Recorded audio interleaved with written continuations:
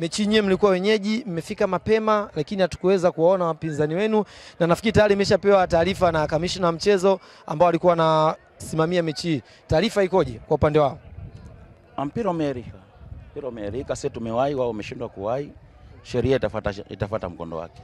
Kwa hiyo tukisema mechi imeahirishwa, ina inasemekana labda kuna tukio lingine ambalo linaweza likawa limeharibu mchezo. Tukizungumzia kama kikosi kimechelewa kitaratibu, mmoja mzima apate abidi apate alama tatu. Sasa hii ya kwenu iko vipi? Tuwachie wenyewe, wao ndio watajua vya kujibu vizuri. Kama watatupa pointi tatu, utatarajia mchezo, sisi tuko tayari kwa vita, kitachotokezea tutafanya.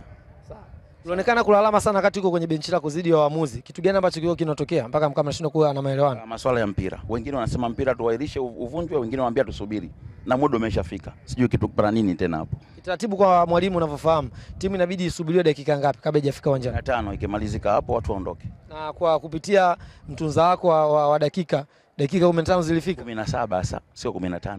Imefika 17.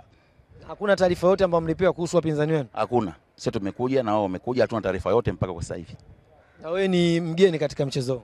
Ya mimi mgeni, lakini nimefika mapema na wao ndio wameniona wamekuja. Kama angekuwa kuna taarifa wasingekuja. Lakini nao timu imekuja ingawa wamechelewa. Kwa hivyo swala la kuchelewa jingine, lakini kuanza kwa mchezo muda jingine.